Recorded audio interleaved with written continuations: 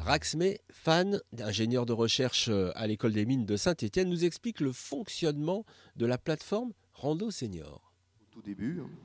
on a une plateforme qui permet donc euh, de s'inscrire et avec des algorithmes de matcher en fonction des disponibilités des bénévoles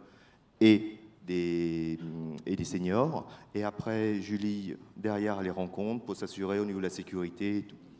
et on est aussi en train de développer, donc, euh, on le fait à notre moyen, avec nos moyens actuellement, puisqu'il n'y a pas encore de, gros projets qui se lancent.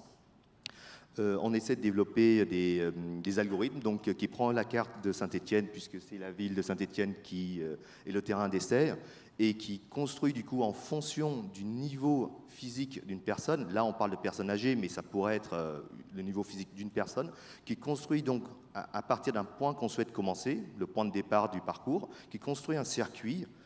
euh, comment dire, section de route par section de route, prenant en compte les différentes difficultés, les pentes, les escaliers, pour les personnes qui sont en fauteuil roulant, l'accessibilité du trottoir, afin que chaque parcours qu'on construit est spécifique à chaque personne.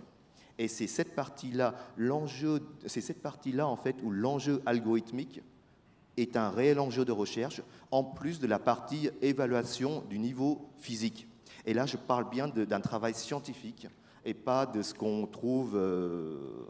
à télécharger sur le Google Play ou Google Market, des applications